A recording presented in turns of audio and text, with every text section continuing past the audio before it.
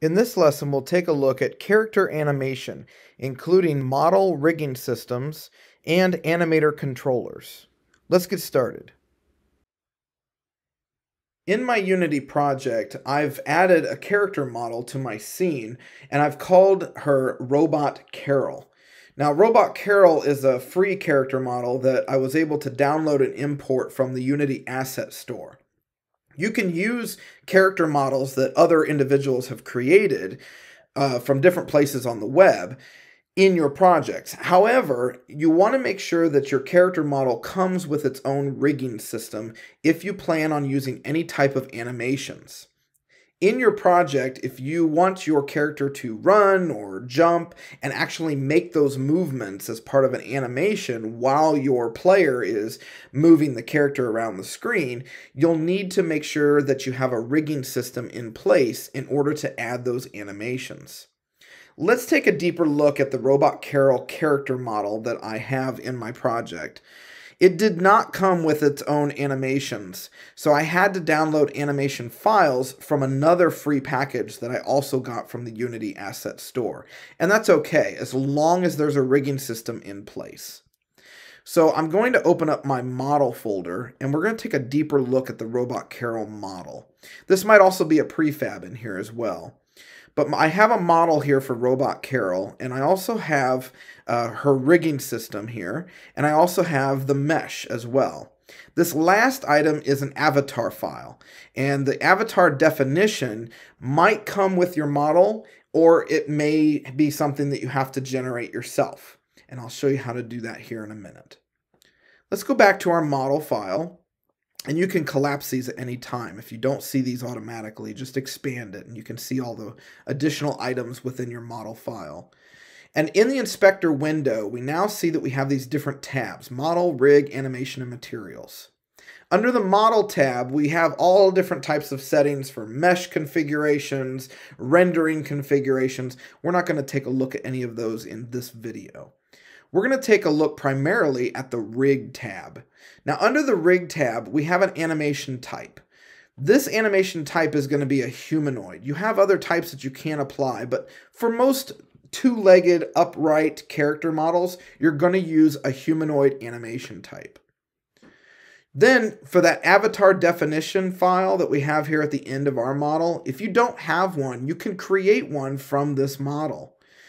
And then you'll also want to apply a standard four bones uh, skeletal structure for the skin weights. And I'm going to select the apply button. And if you don't have that avatar definition file, now is when it will, will apply that file to your model. Let's take a look by selecting the configure button at that rigging system. When I select configure, it may prompt you to apply the import settings once again. And now we can take a look at the rigging system itself. Over here in our hierarchy, you can see all of the different skeletal structures that are involved in the rigging system. As I said before, this can be a time-intensive process setting up the entire rigging system, so you'll want to make sure that your character model comes with one already. You can see the skeletal structure here in our view of the rigging system. You can also get a breakdown of all of the different transforms that the different vertices or joints um, can be applied to different animations in the rigging system itself. We can take a look closer at the head, the hands, but primarily the animations are going to rely on the body rigging system in order to make it jump or look like it's running across the screen. So we know that we have a rigging system set up and in place with this model just by looking at the rigging system here. To exit this view, scroll down and we select Done. Now that we know we have a rigging system in place, we can also check to see if there are any animations. There are no animations tied with this model. It didn't come with any when I imported it from the Unity Asset Store. So what I had to do was add some animation files from another package that I also downloaded from the Unity Asset Store for free. You can find basic free motion animations that come as an asset package on the Asset Store and other locations on the web. I have three very basic animations here. You can see that inside each animation file, we have some directions as to how Unity should use the rigging system in order to move our model. You can select each of the animation files and click the animation tab, and then take a look at a preview of that model using the animation. So here in idle, it's just standing there, sort of making a, a, a sort of um, small movements, very subtle in an idle type movement. Then we have our jump pose, and this is strictly just a jump pose. And then the run motion, which is also an animation file that we can apply. These are three very basic and common gaming animations that we're going to use to make our robot look like she's running. Now, the one thing that our Robot Carol game object does not have is an animator controller. It's missing that right now. You can see that in the animator component. It's also missing the avatar, which we just created. So I can add our Robot Carol avatar by selecting it here. Now, the game object that I already added to the scene for Robot Carol already has the animator I added the rigid body so we can apply physics and gravity to the character. I also added the character controller so we can apply collisions and movements to it. And I also have already added the player controls script, which also uses the animator controller, which we have not created yet. I've also added the character controller to our script component here as well. So that's already in place. Let's create that animator controller that will actually tell the script which animation files to run when certain actions are performed. To do that, I'm going to leave the animations folder open. I like to keep my animator controller file with all of my animation files. So I'm going to right click in that folder, select create, and then animator controller. This will add my animator controller here at the bottom. And I'm going to call it Robot Carol since this is her animator controller.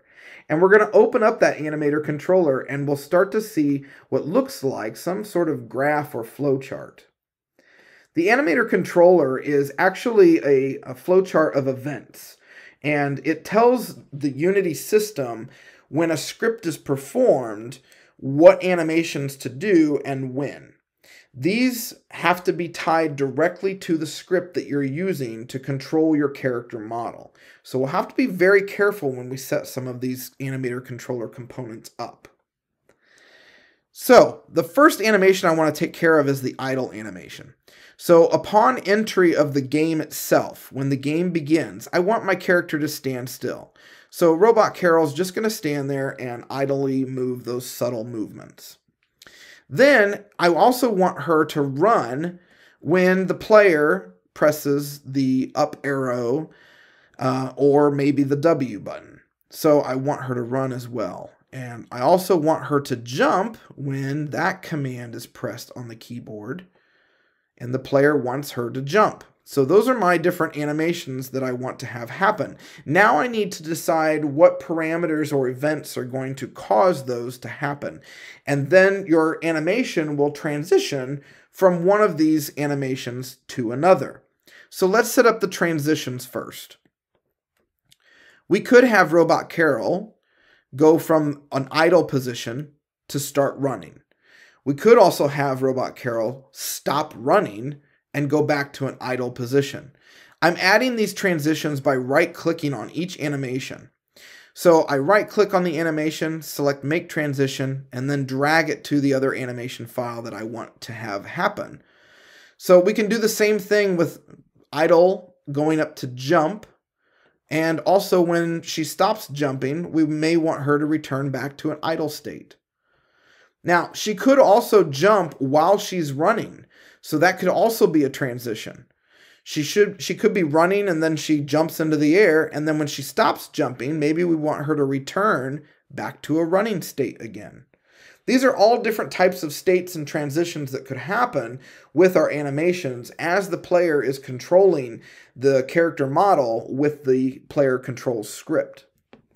Now let's take a deeper look at each of these transitions. So an idle state to a run state we need to set up a parameter that is tied to the script file that will change the animation from an idle state to a running state. Now, these are case sensitive. We're going to add these parameters over here. And for our script to work, we're going to use a Boolean. And this is um, used uh, to trigger whether or not the running is true or false or the jumping is true and false. You could also have an integer or a float or another type of trigger variable, but we use Boolean variables within our script. And so that's how we need to set up our parameters as well. So I'm going to add a new Boolean parameter. And again, these are case sensitive. So I need to set up a jump parameter with a capital J. And I also need to set up a Boolean parameter for run forward. And those need to be typed exactly as that in order for our script to work. Now, when we transition from an idle animation state to a run state, in order for that to happen, run forward has to equal true. In order for it to stop running and return back to an idle state, run needs to equal false. So run forward equals false. Same thing for jump. In order for it to go from an idle state to a jump state, we need to have our parameter from jump be true. In order for it to return back to an idle state, we need to have our parameter jump be false. Now let's take a look at run to jump. This is a little bit different. So if she's running and she jumps, jump has to be true in order for that to happen. Now, if she's jumping, but she's also running, and we want her to return to a run state, we can say that jump is false, but also running has to equal true. So run forward equals true. So we need two conditions in order for her to return back from jump to run. Same thing from run to jump. We could also say that uh, running run forward has to equal true, and then jump has to also equal true. Then from jump to idle, if we want to make those uh, parameters a little more specific, we can change those conditions to be jump has to equal false, but also run forward also has to equal false. Because remember, if run forward is true and jump is false, it's going to return back to a running state, not to an idle state. Now that we have our animation set up, let's go ahead and apply that to our script. Going back to the Robot Carol game object, we'll need to go to the animator controller, add our new animator controller called Robot Carol, and do the same thing for our script as well. The animator controller, which is abbreviated as anim for our script component, we need to add Robot Carol. All right, everything else in the script component looks good. We're using the player one controls, which are the arrows and the space key for jumping. Free rotation is set up, and we also have a rotation speed of 200. So now let's go ahead and play this and test it in our play mode. So now we can see that Robot Carol is idling, and she can rotate. She does run, but there is a bit of a problem here. Her running animation is delayed just a tad. So we'll need to fix something in our animator controller in order to not have that delay. Let's go back to the animator controller and take a look at this. On each of these transitions, you'll see that there is a has as exit time. The default for this is to have the exit time be checked. We want to make sure that these are unchecked. So we're going to deselect each one of these has exit times. Basically, this adds that delay to the transitions. So for each transition, we need to make sure that we uncheck has exit time because we want the animation to start right away. We don't want it there to be any delay in our transitions. So I'm going to uncheck each one of those. And then now let's go ahead and test it out again in play mode. Now we see Robot Carol. She's idling. I can turn her this way. I can run her. And now we see that when she runs, she's actually running when she should be running. There's no delay there with that animation. So also, when she's running, we can have her jump. She could also be standing still and jump. So it looks like all of our animations are working as they should be. And Robot Carol is free to move around in this space. Now it's your turn to practice setting up animator controllers that will interact with our player controls script.